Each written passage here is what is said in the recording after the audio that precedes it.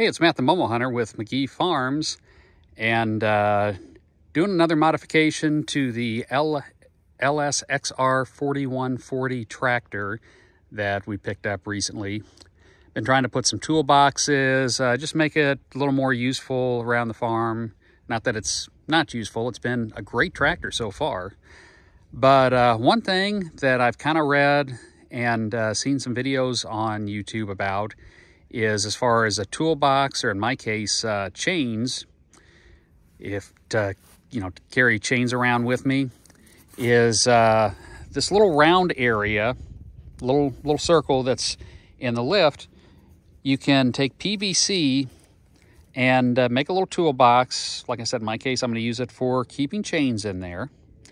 And, you know, it slides right in, works perfect. It's a three and a half inch hole on the LS tractor, on the LL 4104 loader, which is what I've got.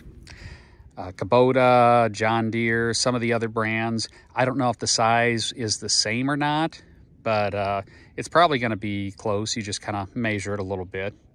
So I got the, I got the, the pipe, I cut it out, and I put it in there I got these uh, little grippers. You can get these at Home Depot and Lowe's. I got them at Lowe's, but I have seen them at my local Home Depot. And I put them in there. Seen a couple people talk about it. Well, the thing about it is you put them in there and uh, they're a three inch. This is a three and a half inch. So this thing just slides back and forth and uh, really doesn't do a whole lot. So I've been trying to figure out what to do and I came up with an idea I saw one video, a, a, guy had used some mud flaps that he had laying around for a truck.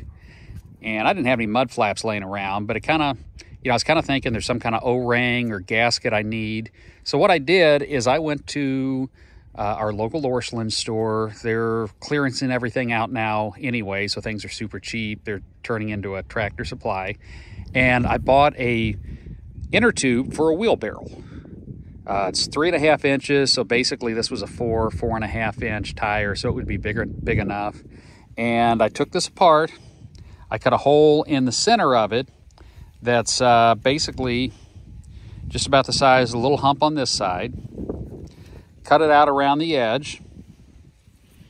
Uh, I need to probably trim it up a little bit, but right now I'm just kind of driving it around to make sure that everything works. But uh, once you put them in, it doesn't go anywhere. Same thing with the other side. You get them in and uh, it holds it in place. They're easy to take in and out. Uh, the pipe was cut just a hair longer than the uh, than the length of the loader. That way I can kind of get it in and angle it a little bit. And I don't know if I'm going to be able to get this in while I'm holding the the camera because it does kind of take two hands sometimes. Otherwise, it just wants to spin. But once you get this in and it locks in there, I've been driving this around for two weeks now and it is not going anywhere. So uh, easy way to do it. Keep some chains with you. You can keep some tools in there.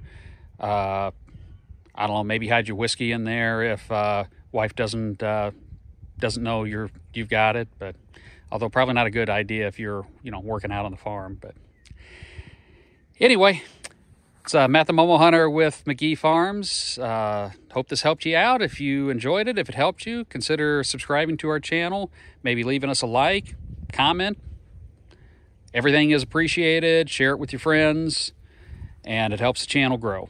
Until next time, have a great day.